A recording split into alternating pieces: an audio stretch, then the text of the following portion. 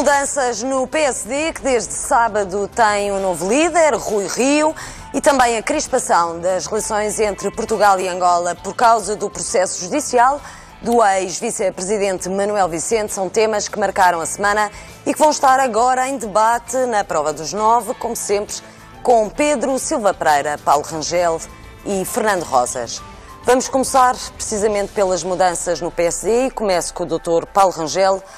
Rui Rio foi eleito no sábado, hoje teve o primeiro encontro com Pedro Passos Coelho para começarem a passar as pastas e já veio falar em algumas turbulências no partido. Parece-lhe que Rui Rio vai ter alguma, algum estado de graça ou que vai ter já facas a afiarem-se, a pensar já nas eleições pós-2019? Não, sinceramente, eu acho que as coisas vão todas correr uh, com naturalidade e sem uh, especiais. Uh, essa, essa linguagem, digamos, quase bélica As facas das da facas.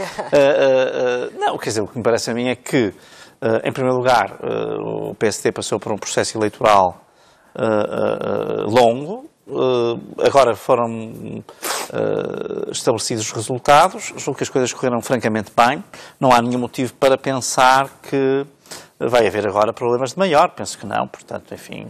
Nem no grupo parlamentar? Não, quer dizer, evidentemente que nós sabemos sempre que em qualquer, eu passei por essa experiência até como líder parlamentar, sempre que nós temos uma liderança que não está no Parlamento, o grupo parlamentar tem de ter aqui, evidentemente, está sempre numa posição um pouco mais ingrata de quando o líder está no Parlamento. E aqui os dois candidatos Uh, fosse uh, Pedro Santana Lopes, fosse Rui Rio, estavam os dois fora e, portanto, teriam sempre esse problema de, uh, enfim... E faz sentido ele querer um líder que partilhe da sua estratégia política ou não? Olha, o que eu acho aqui, quanto a essa questão, que é a questão que se tem posto da liderança do grupo parlamentar, portanto, não já tanto da, da presença do líder ou não no Parlamento, mas da liderança do grupo parlamentar, acho que aqui, sinceramente, isto é tudo uma questão de bom senso, de razoabilidade e também, mais uma vez, acho que não há motivo para fazer aqui disto um, enfim, um romance ou uma novela à volta disto. Vamos cá ver. Aquilo que é natural é que haja uh, uma, uma, digamos, uma sintonia uh, entre o grupo parlamentar e o presidente do partido. Portanto, aquilo que eu acho que nós devemos aguardar com serenidade e sem pronunciamentos públicos uh, tronitroantes sobre isto é que o, o líder parlamentar que está em funções Uh, se reúna com o Presidente do Partido. Vai haver com certeza tempo para isso, porque o Presidente do Partido só assume funções uh, a partir de 18 de Fevereiro, portanto só naquele fim de semana. Portanto, até lá com certeza que se vão poder encontrar e que os dois razoavelmente entendam, uh, vejam qual é a melhor solução. Eu acho perfeitamente natural que numa situação destas, um líder parlamentar ponha o lugar à disposição, seria o que eu faria, Uh, portanto, não, não tem uma visão jurídica, não é? Destas coisas, que foi eleito pelos deputados e agora não pode em caso nenhum sair. Bem, eu não tenho essa visão, mas uh, acho que isto, sinceramente, passa mesmo por. E nisso, tanto o atual líder parlamentar como o presidente do partido eleito, Rui Rio, acho que tiveram declarações até agora aparentemente bastante sensatas, que é que uh, uh, conversaram, felicitaram-se, foi felicitado o presidente no momento da vitória e vão conversar sobre esse assunto. E, portanto, eu acho que, evidentemente, depois disso se encontrará uma solução natural e não uma solução, digamos, que tenha aí alguma crispação ou alguma tensão, enfim. Embora seja um clássico de qualquer livro de ciência política, haver uma tensão entre a direção política de um partido e o respectivo grupo parlamentar. Uma coisa que era muito estudada nos, nos manuais de ciência política, uh, essa questão. Eu acho que não há nenhum motivo para isso. Portanto, sinceramente, eu encaro aqui tudo com muita naturalidade e o que eu julgo é que aqui é preciso é bom senso. Portanto, se houver bom senso, não vai haver nenhum problema de maior. Portanto, é natural que um partido, repara, um partido, depois de uma luta em que há dois candidatos, naturalmente que uns tomaram posição por um, outros tomaram posição por outro, outros uh, tomaram, enfim, ou não tomaram posição, ou tomaram uma posição mais viva e outros menos intensa, e portanto agora naturalmente há aqui um período, até uma coisa que é má ser um período tão longo, que é um mês, mas, há aqui, mas isso também tem uma vantagem, a vantagem é que todas, as, equipa, e todas essas arestas que ficam naturalmente, que são naturais de uma campanha, não tem nada de extraordinário, podem ser limadas, portanto há aqui um tempo para limar, para fazer uma transição suave entre o Presidente atual e o próximo, e e as pessoas que tomaram posição, que até, enfim, estiveram um pouco mais ativas na campanha, etc., possam, no fundo, distender um bocadinho as suas posições e criar uh, o elan necessário para e que olhando, a nova liderança olhando já para a estratégia política, ainda esta semana e há pouco também aqui nos estúdios da TV24 tivemos a Manuela Ferreira Leite, como sabe, apoiou o Dr. Rui Rio, que disse esta semana que percebia que se podia, que se devia vender a alma ao diabo se fosse preciso para afastar, no fundo, a extrema esquerda ou a esquerda radical do governo. Ou seja, a Manuela Ferreira Leite elogiou a honestidade e a frontalidade com que Rio disse que se perdesse as eleições, uh, estaria disposto a viabilizar um, um governo de António Costa desde que isso afastasse o PCP e o Bloco da governação. Qual é a sua posição sobre isto? Não, repare, eu, uh, o que penso uh, basicamente sobre isto é que uh, eu, eu, também reconheço e, e, vejo nisso, e aliás não apenas nessa posição, mas noutras, uma forma bastante diferente e pouco tradicional em Portugal fazer política por parte do Dr. Rui Rio, que é uh, coisas que até aparentemente alguns pensariam que lhe poderiam trazer alguma desvantagem uh, no curto prazo, ele não deixar de as assumir, mas eu sinceramente eu estou muito confiante que o PSD tem todas as condições para vencer as eleições. E por isso eu uh, aí tenho uma posição mais tradicional e mais convencional que é Portanto, que... vai responder à pergunta, estou aqui para ganhar. Não, quer é dizer, eu acho que nós devemos concentrar-nos nessa. Não é só o que se costuma, eu acho que nós devemos mesmo concentrar-nos nesse cenário. Uh, porque depois os outros dependem de várias uh, variáveis, não é? Portanto, que aliás, na complexidade das respostas uh, que foram dadas para o Rui Rio, estavam equacionadas. Não é? Isto não era, não era um cheque em branco passado assim como depois, enfim, um certo discurso simplista e também até algum calor da campanha alimentou. Uh, mas eu pessoalmente aí sou um ortodoxo. Portanto, não e, portanto, quer dizer o que é que. Não é, não que quero dizer. Uh, o que, é que considera não, que deve ser a estratégia não, não, não? Não, não diga que eu não quero dizer. Eu disse-lhe duas coisas muito importantes e eu vou repeti-las e são muito rápidas. Uma é. Eu acho que o PSD tem todas as condições para poder ganhar as eleições e, portanto, deve trabalhar isso, uh, nisso e deve centrar-se nisso. E acho que, se por acaso isso não sucedesse, sinceramente, é preciso avaliar as circunstâncias. Portanto, não há, não, com certeza que é um, um há, há, sem dúvida, que o Partido Comunista e o Bloco de Esquerda têm posições tais que nós achamos que são bastante perniciosas, são mais perniciosas que as do PS, e, e sempre criticamos isso na governação do PS e nesta inflexão que o PS fez, e que infelizmente eu acho que é negativa para a democracia portuguesa, mas, mas, como eu digo, acho que isso é uma coisa que só pode ser avaliada em concreto. E, portanto, sinceramente, eu centrava-me no primeiro uh, uh, objetivo, que é o objetivo de ganhar as eleições, uh, e, portanto, essa seria sempre a minha, será sempre a minha posição. Sua prioridade. Depois, a seguir, só vendo o que é que está em cima da mesa, e então aí obviamente, com todos os dados, tomar uma posição. Pedro Silva Pereira, aparentemente esta solução é sempre ótima para o Partido Socialista. Ou ganha as eleições e não precisa de negociar nada, ou uh, e tendo maioria, se não, tanto pode negociar com o Dr. Rui Rio como com os partidos à esquerda. Fica sempre a ganhar. O que é ótimo para o Partido Socialista é ter um bom desempenho no governo, melhorar as condições de vida das Está pessoas. Está a ver, é o primeiro cenário isso, também. E isso é que dará a confiança dos portugueses quando se pronunciarem sobre o governo e sobre o PS na altura das eleições.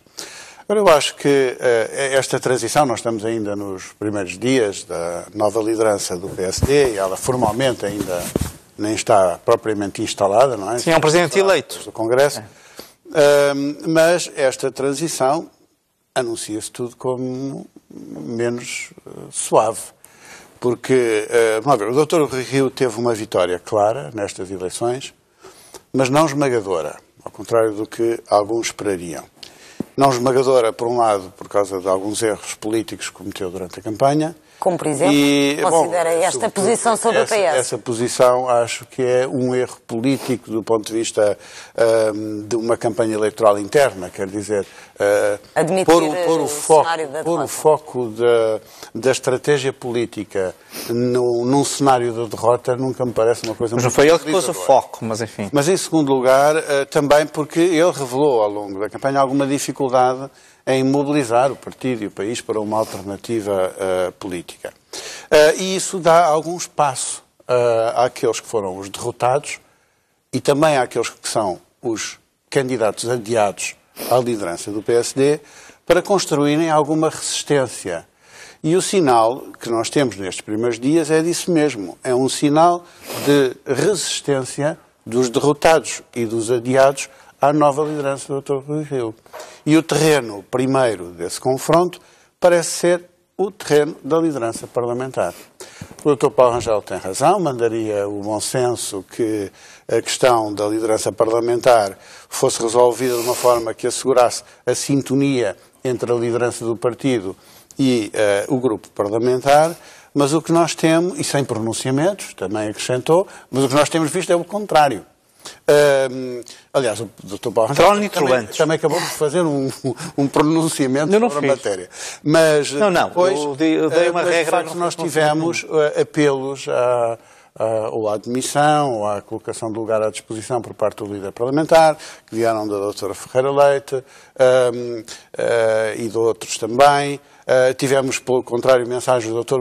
Montenegro, o anterior líder parlamentar, dizendo que o Dr. Hugo Soares não tem nada que se demitir, nem que pôr o lugar à disposição, e ele não tinha, aparentemente, que se meter no assunto com os tais pronunciamentos uh, tronitrolantes. Um, e, portanto, isto significa que há uma lógica de confronto uh, entre o grupo parlamentar e, uh, uh, e, a liderança. Não quer dizer que isso não se possa ainda tudo resolver, mas os primeiros sinais são de que Portanto, aqueles... Não vê que uma ameaça ao Partido Socialista para as próximas legislativas? Não, eu aliás nem estou a falar do Partido Socialista, mas estou a falar da situação interna do PSD, com a sua expressão parlamentar. E acho que os sinais são os sinais de que os derrotados e os eh, adiados estão na disposição de dar luta e de se posicionar para aquilo que já imaginam que possa ser um futuro de pós-Rui Rio, a confirmar-se o tal cenário de derrota que ele próprio colocou uh, em cima da mesa e todos nos lembramos que ainda antes das Mas vê alguma o, o, vê impossibilidade de haver algum entendimento entre o PSD de Rui Rio e o Dr. António Costa? Mas que tipo de entendimento? De governação, dizer, é, é não estou a falar de Bloco Central, não, mas é que... uma governação de um governo, de um deles minoritário, com algum apoio parlamentar medida. O Partido Socialista está completamente empenhado na sua uh, experiência governativa e nos acordos que tem com os partidos à sua esquerda. Um, e esse é um, o único horizonte que o Partido Socialista tem neste momento. E acho que a avaliação que o Partido Socialista faz coincide com a avaliação da maioria dos portugueses. Esta solução governativa funciona. Mas Tem quando funcionado forem... a, a, a bem da qualidade de vida. Quando, quando se aproximar a campanha eleitoral, as legislativas, se não houver qualquer eh, facto inesperado em 2019, esta posição de Rui Rio, dizendo o que é que fará em caso de derrota, não obriga também António Costa a dizer antecipadamente também o que fará? Não, com caso... certeza que não. Eu acho, aliás, que uh, quem percebeu bem o, o efeito desta declaração foi o CDS e a doutora Assunção Cristas, que, aliás, esta semana uh, veio tirar a conclusão, que levou algum tempo a compreender, de que mais importante do que ser o partido mais votado é ter maioria parlamentar, porque sem isso não se governa. E o que ela realmente está a dizer também é que à direita tanto faz votar no PSD como no CDS, porque o que conta mesmo é saber se a direita tem maioria absoluta para governar. E, Acabar portanto, com o voto o, útil, não é? Exatamente. Portanto, o que se trata ali é que o CDS procura decretar que deixou de fazer sentido um voto útil uh, à direita. E eu penso que uh, uma lógica menos uh, afirmativa, menos sedutora da parte do Dr. Rui Rio no interior do próprio espaço da direita, dá uma oportunidade, de facto, ao CDS, que é, aliás, acrescentada com a circunstância de, não estando o Dr. Rui Rio no Parlamento, se verificar uma questão para a qual chamei a atenção logo no início deste processo, eh, e que é a possibilidade da doutora Assunção Cristas assumir no Parlamento a liderança da oposição parlamentar.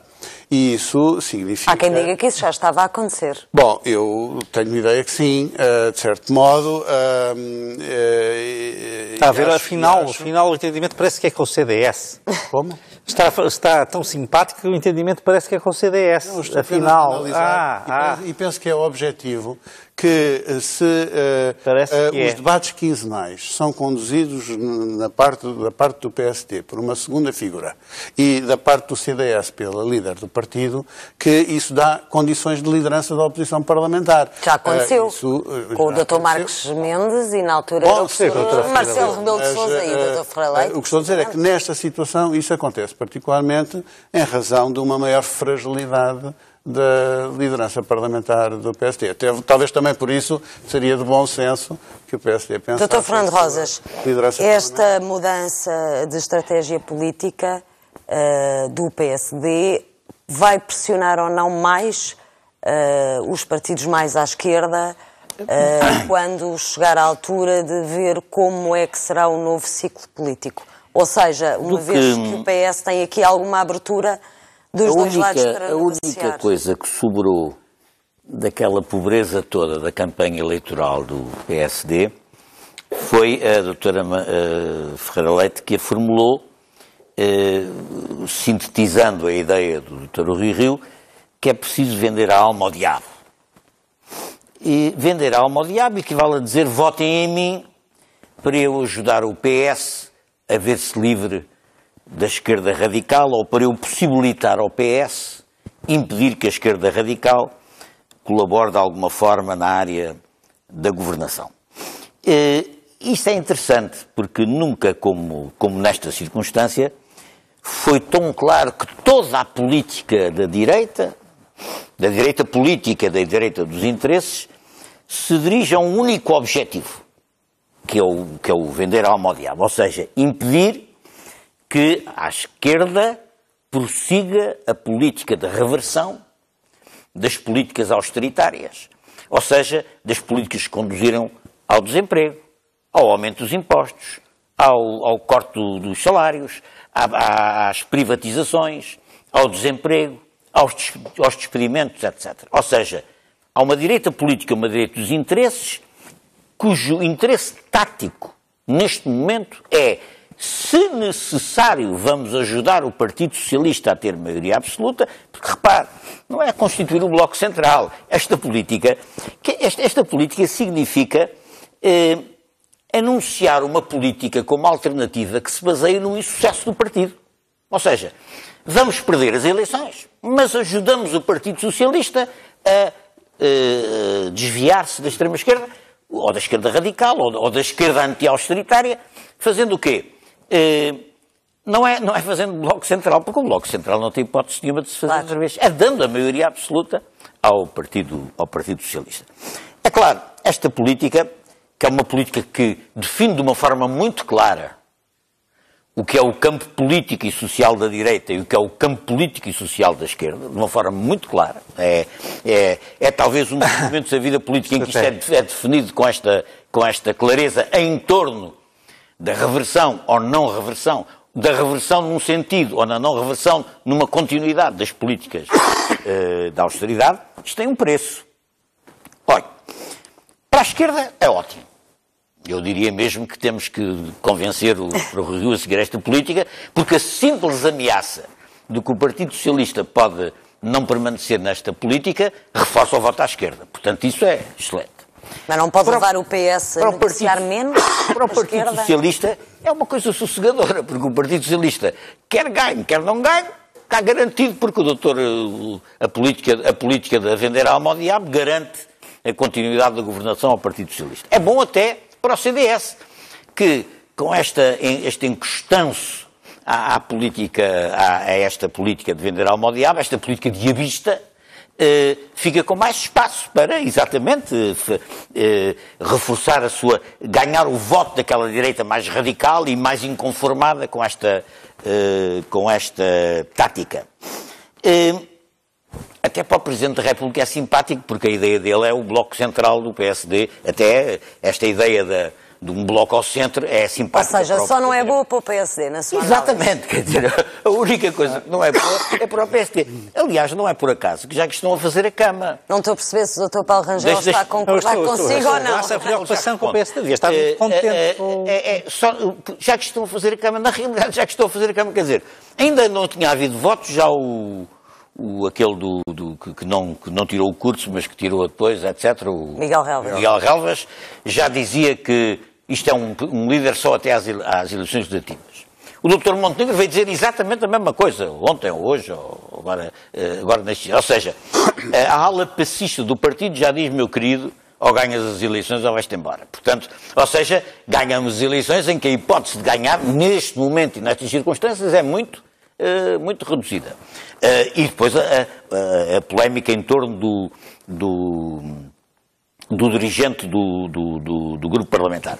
E, portanto, eu acho que... eh, depois- Não haver nenhuma ameaça, acho que. Depois o doutor, não, não, eu acho, eu acho mesmo que era ótimo que ele seguisse esta política. Eu acho, quer dizer, para, para a área política com que eu me identifico, é, era ótimo que ele seguisse esta política, porque é uma política que vai, eh, vai destruir o, pa- o Partido Social Democrata, porque quer dizer, não é formar um bloco central, é vai dar a maioria. Mas não teme que o PS seja tentado, ah, Não, se não tiver maioria, a entender-se com o PSD, com quem historicamente sempre se entendeu mais do PS, facilmente do que com a esquerda? Os, os, os assis desta vida dentro do PS são de regozijar-se imenso com essa possibilidade de expectativa.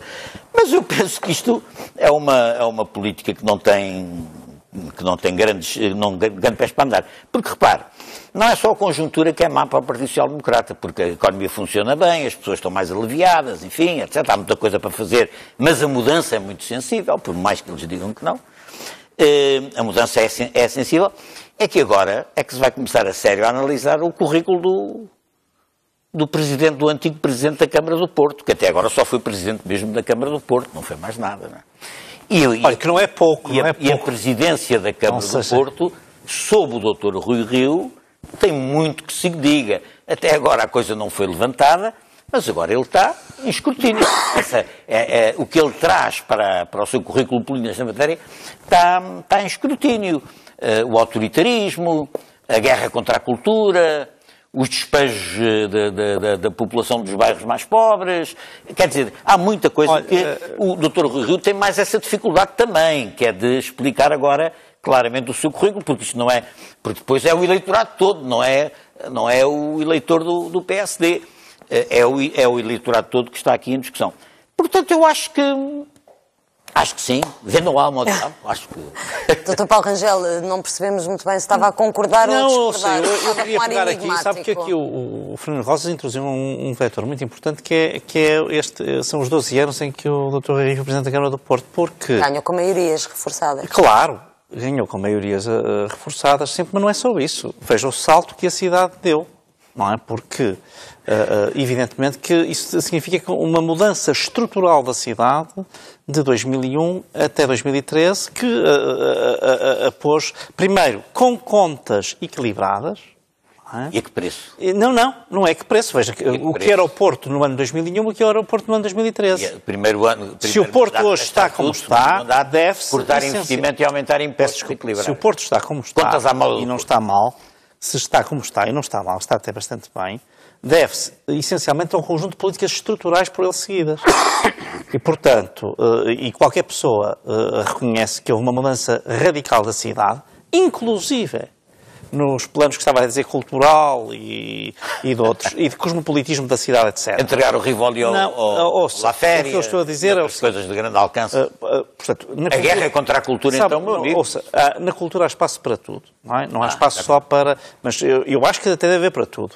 Mas, mas, mas tudo. Só queria dizer, mas não e em vou relação sentar ao resto da análise queria... do Dr. Fernando Rosa? Não, mas pronto, portanto, isso é a análise do Dr. Fernando Rosa, é a análise que lhe dá jeito, pronto, nós já sabemos.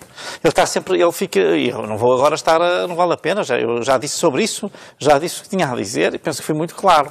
E, portanto, ele, uh, ele, acha sempre que uh, o doutor, aqui o professor Fernando Rosas tem sempre esta, esta ideia de que está sempre preocupado com o nosso mal. Portanto, está preocupado com o nosso mal, fica preocupado Silva com Pereira o também mal. estava a dizer a mesma coisa, no fundo, que a estratégia era boa para toda a gente, menos... O vosso Julguei que isso era uma coisa que era boa para si ao fim, mas, Eu mas acho parece que que não. a perseguir um pouco a liderança do Dr. Rui Rio esta ideia infeliz da doutora Manuel Ferreira Leite de que o PST pode e deve vender a alma ao diabo. Porque já é demasiado diabo Não, isso- na ouça, estratégia eu- isso- política do PSD. Já parece uma Oh, oh, olha, eu agora- Quer não, dizer, ouça, antes, Como ele não antes- aparece, vende-se a Antes alma. Há uma era coisa, o Dr. Passos Coelho que anunciava a vinda do diabo. Mas- Agora é a doutora Ferreira Leite que propõe que se venda a alma ao diabo. Mas- E eu não me parece que isso Não, seja uma eu acho- estratégia de eu- grande eu- para não, um partido sim, não. Há uma se coisa quer que eu- apresentar como Há uma mobilizador coisa, há uma coisa que eu concordo consigo, até ia dizer isso quando aqui se levantou a questão da tentação, se não estará o PS tentado. É preciso, talvez fosse a altura de tirar uma eh, a linguagem religiosa do- da análise política. E, portanto, isso eu acho que sim. Aí estou de acordo consigo que, eh, eh, se não for diabo, há pelo menos diabretes a mais, e, portanto, talvez fosse. Isso, isso positivo não é, em termos de linguagem, porque acho que, de facto, tem essa. essa essa pode ter uma leitura, digamos, contraproducente. Mas isso não tem a ver até com a substância das análises, mas até com a linguagem. Ah, Mas, enfim, pronto, é apenas um aspecto. Mas, sinceramente, eu acho eu vejo é todos muito preocupados com a liderança do Dr. Rui Julguei que não estivessem não, não, tanto. estamos a já que, não, não, Estamos é que não estão, estão, Não é que estão preocupados. sintetizar o que é a tática do... Estão, estão muito preocupados, estão muito preocupados. Doutor Paulo Rangel, eh, está disponível, se for convidado, para integrar eh, a direção, algum cargo? Não, ouça, eu, há uma coisa que eu vou fazer. Estamos num período, há uma coisa, eh, eu não vou contribuir para esse debate eh, eh, eh, especulativo dos eh, jornais e tal. Portanto, toda a gente me conhece, sabe que eu fui candidato contra o Dr. Passos Coelho e não deixei de colaborar lealmente com o partido sempre. eh, eh, e, portanto, eh, essa, essa atitude que eu tive antes, tenho agora em que tive uma atitude de neutralidade e, portanto, tenho a mesma atitude. Agora, sinceramente, o que eu digo é assim, nós estamos num período de transição e devemos respeitar, por isso é que eu dizia há pouco, até a respeito dessa questão parlamentar, que eu tenho uma grande confiança que quer Hugo Soares, que é líder parlamentar, quer Rui Rio, que é presidente do partido, vão conversar tranquilamente e vão encontrar uma solução eh, eh, totalmente, eh, digamos, favorável aos interesses do partido, do país e até dos próprios. E, portanto, Sim, eh, aí eu acho que, sinceramente, é assim que nós devemos estar. Vai haver com certeza mais oportunidades Ah, de falar sobre as mudanças do PSD. seguimos não só. agora, E não só. Vamos seguir agora para outro tema que tem estado completamente em cima da mesa e começo aqui Pedro Pedro Silva Pereira, que tem a ver com este arrefecimento, crispação, não sei qual é a melhor palavra, nos relacionamentos entre Portugal e Angola por causa do processo judicial. O ex-vice-presidente Manuel Vicente está acusado de corrupção. O julgamento é suposto começar segunda-feira, não sabe exatamente o que é que vai acontecer, uma vez que o Ministério Público não conseguiu notificar e constituí-lo arguído. Este fim de semana tivemos o Ministro dos Negócios Estrangeiros a admitir que está muitíssimo preocupado com o que está a passar, que há um, um irritante no meio disto tudo. Parece-lhe que foi inevitável e sensato esta decisão do Ministério Público de não deixar com que este processo fosse para Angola para aí ser julgado ou que fosse entendido fazer?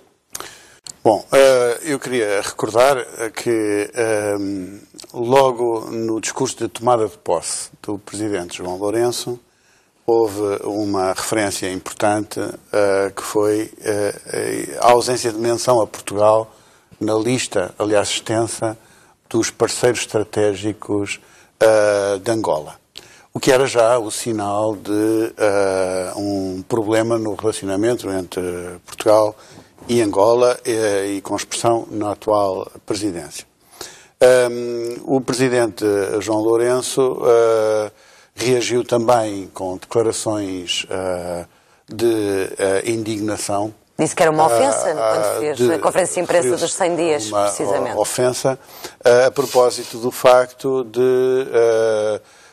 não apenas o, o processo relativo ao ex-presidente- ao ex-vice-presidente Manuel Vicente não transitar para Angola, mas, eh, sobretudo, quanto à circunstância de o Ministério Público ter apresentado como justificação para que eh, essa transferência não acontecesse, ou não acontecesse por hora, eh, o facto de Não haver garantias, não haver é? garantias da parte da justiça angolana de realizar o julgamento, prosseguir o julgamento, de uma boa administração da justiça. Foram as palavras utilizadas.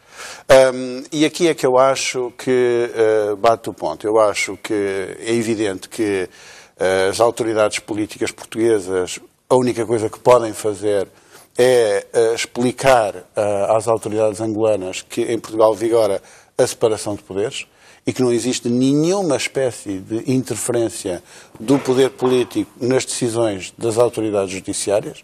E, portanto, aí não vejo nenhuma espécie de intervenção. Acho que o Governo tem sido exemplar na defesa desse princípio, que é estruturante. Mas isso também já foi dito várias vezes, não é? E Bom, mas, não resolveu. mas é o que pode dizer. O que não é solução é uh, fazer como fez o anterior Ministro dos Negócios Estrangeiros, Rui Machete, que às tantas foi pedir desculpa pelo facto das autoridades judiciárias estarem uh, a desenvolver uma investigação em Portugal. Uh, e, portanto, acho que a atitude do poder político em Portugal só pode ser esta: é de respeito pela autonomia do poder judicial. Agora, dito isto, a única coisa que eu acrescentaria é que acho que uh, também as autoridades judiciárias não estão, não estão dispensadas de usar de algum bom senso no modo como faltou, fundamentam as suas Faltou neste caso. Eu julgo que teria sido possível evitar uma fundamentação que só poderia ser recebida pelas autoridades angolanas como um, um, voto de desconfiança na sua administração judiciária, no modo como foi formulada. E, portanto, acho que uh, teria sido possível às autoridades judiciárias uh, defenderem a sua posição e, e, e fundamentarem essa posição de um modo que não fosse tão ostensivamente uh, agressivo para, para as autoridades judiciárias angolanas, com quem, aliás, Portugal tem e precisa de ter uma intensa cooperação uh, judiciária que não pode ser afetada e, portanto, um, uma espécie de um voto de, de, desconfiança, se é formulado desse modo, uh, pode ter como consequência, de facto, afetar o ex, o ex entre as um, administrações judiciárias e, finalmente, ter alguma uh, repercussão política também. João de Rosas, o ex-bastonário Marinho Pinto já defendeu em o Jornal Público e a Rádio Renascença que este caso há, há, superiores interesses das nações e dos Estados que às vezes devem, uh, devem colocar acima de, de, julgamentos e que neste caso, dadas as relações económicas, diplomáticas, etc., que talvez este processo devesse, devesse ter sido enviado para Angola.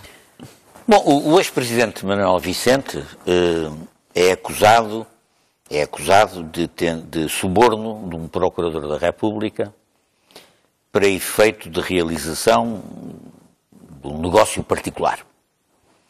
Na nem qualidade sequer, de presidente da Sonangol. Da Sonangol. Nem sequer se trata de atividade presumivelmente delituosa no exercício de funções. É uma coisa privada, da vida privada é acusado desse, desse crime. Uh, parece haver uma disposição que permite, em teoria, que o, o Sr. Manuel Vicente seja julgado por esse alegado crime uh, em Angola. Mas. Uh, Até os abrigos dos quer, protocolos quer eu crer no âmbito da CPLP. Esse protocolo, é? no âmbito da CPLP, não é vinculativo. É uma possibilidade que é deixada sempre ao critério soberano do Ministério Público português entender que essa possibilidade é, é viável ou não. O Ministério Público até agora tem, eh, tem sido discreto nesta matéria, mas aparenta, até agora, tem aparentado entender que o, eh, a acusação, o, o, alegado crime, deve ser julgado aqui, porque foi aqui que foi uh, cometido. Também se diz que o Ministério Público português não confia nos critérios da justiça angolana, mas eu devo confessar, deve ser falha minha, nunca li isso escrito assim. Pois não, acho que está fechado a sete chaves. Preto no branco, mas provavelmente. Mas o governo dá-lhe jeito de usar o artigo. Revelado pelo Expresso, como sabe. Ah, as coisas estão ah, mas... o governo. Não, não, mas é o governo. O é o governo é que divulgou esse documento. documento Agora, eu... que não é o, aparentemente o parecer do Conselho Consultivo da Procuradoria. Não, não, sei, não sei se. Nunca li. Eu não, nunca, li, nunca vi a Procuradora dizer nada, ninguém no Ministério Público. Não havia procuradora mas, dizer. Mas, mas, mas o presidente angolano João Lourenço. Esse, mas o presidente Agora, João Lourenço, quando fez a conferência de imprensa, é que, disse que a, é que a justiça está, portuguesa está não confiava. Está, está feita sob o governo português uma chantagem intolerável, que é dizer, ou vocês passam para cá o processo, ou nós fazemos sanções económicas, já estão a impedir as transferências ou dificultar as transferências, afetam não sei quantos milhares de portugueses que lá estão, podem mil diminuir as importações, estão, ou mil ou dois mil, uma data delas, Quer dizer que é uma, que é uma chantagem intolerável entre países civilizados e democráticos, porque não parece isso absolutamente tolerável. Agora, eu, do, do meu ponto de vista, acho que o Ministério Público é soberano e acho que há divisão de poderes. O Ministério Público já foi informado pelo Governo dos interesses que aqui estão em causa e o que a nossa Constituição diz é que, seguramente atento a esses interesses, o Ministério Público deliberará.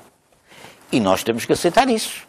Quer dizer, eh, se o Ministério Público não tivesse informado, está informado do que é que está em causa, está informado da, da, da situação que existe, seguramente avaliará, à luz dos interesses que são colocados em cima da mesa, qual deve ser o melhor comportamento.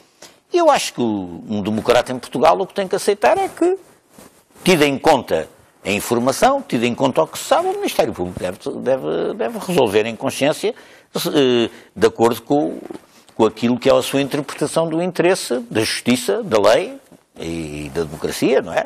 Eh, isso é o que, é o que eu acho. Agora, independentemente disso eh, e da decisão que se venha a tomar, acho que é intolerável num assunto destes meter aqui a economia, chantagem sobre as empresas, etc. Acho que isso não é, não é próprio de países que são países Ministério onde Público, funciona uma ordem democrática. Pouco previdente ou não? Eu não sei, porque repara, para além de mais, ainda há um parecer fechado a sete chaves no gabinete do Primeiro-Ministro, não homologado pelo próprio. E há pessoas a dizerem que, já ouvi várias pessoas dizerem, bem, o Ministério Público devia explicar porquê, que ele nunca explicou. Bom, se o Primeiro-Ministro é, é, é que é depositário dessa informação, se alguém tinha que esclarecer, era o Primeiro-Ministro.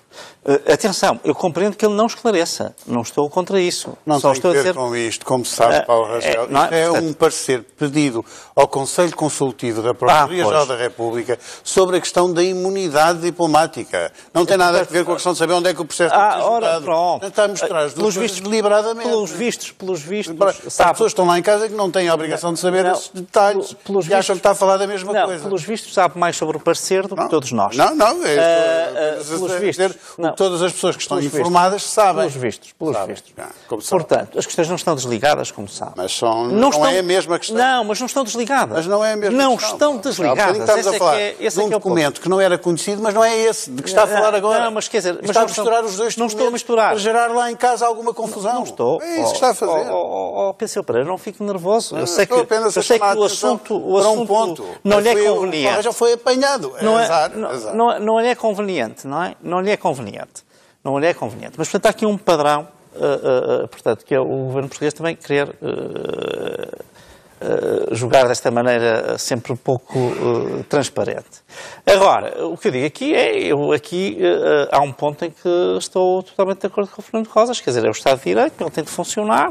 Uh, eu acho que o Ministério Público, no exercício das suas funções, não deve ser, numa questão destas, impermeável a uma, um juízo uh, de oportunidade.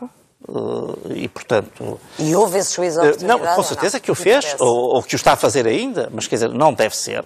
Mas há uma coisa que é evidente: quanto mais o governo de Angola puser a questão em termos de uma pressão, enfim, uh, deste género, mais difícil se torna poder tomar uma posição que seja uma posição que eh, possa ter em conta isso, porque de facto o que acontece é que a justiça portuguesa fica sob ameaça, sob chantagem, sob pressão, fica no fundo. Mas também parece aceitável o argumento divulgado por o documento do Ministério Público e que, Não sabemos- de facto, é que- o Presidente João sabe. Lourenço referiu-se, quando fez É a que- conferência de imprensa dos 100 dias, disse que a Justiça Portuguesa não confiava na Justiça Mas está a ver, aqui há uma E duplicidade. que era um desrespeito também pelos acordos de cooperação na CPLP.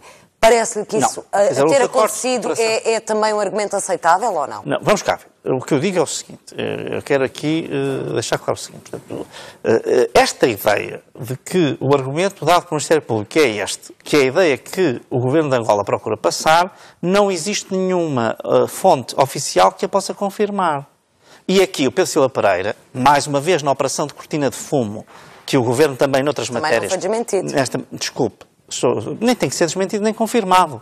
Só estou a dizer aqui, uh, assumiu isso logo como uma verdade escrita. É um documento não, não, que não. está citado pelo Expresso. Ouça, mas parece que citações até já, entre aspas. at- não, até já. Agora, era não, bem agora dizer que não existe. não, ouça, pelos vistos, é que eu lhe disse, sabe, que- sabe, conhece o conteúdo de todos os documentos. Nós Mas não, não foi negado, não é? Mas Nem o Silva. Pereira conhece. Mas nós não conhecemos, pronto. E, portanto, eh, até agora não conhecemos. O que eu digo é, do meu ponto de vista, eh, a, a- forma como o governo de Angola está a, a atuar não facilita até uma solução, que seria uma solução justamente de fazer intervir aqui o princípio da oportunidade para isso, porque a existência de um acordo de cooperação judicial não implica uma obrigatoriedade de fazer as coisas. Portanto, eh, ela eh, abre uma possibilidade. Pronto. Eh, eh, eh, E eu acho que Mas a apreciação dessa possibilidade continua a caber ao Ministério. Claro, e deve caber. Eu acho que, justamente, o Ministério Público. uh, Temos Paulo Rangel. uh, Porque não é, não é por acaso que não é uma magistratura judicial, é uma magistratura do Ministério Público, tem um espaço para esse tipo de consideração. Mas, evidentemente, que com este tipo de pressão, até de grande, de uma parte importante de, de alguma opinião publicada portuguesa, coloca o Ministério Público numa situação muito difícil, mesmo que queira fazer isso. Meus senhores, chegamos ao fim, mais haveria para dizer, mas estes temas também vão continuar a dominar a atualidade. A prova dos nove está de regresso na próxima semana.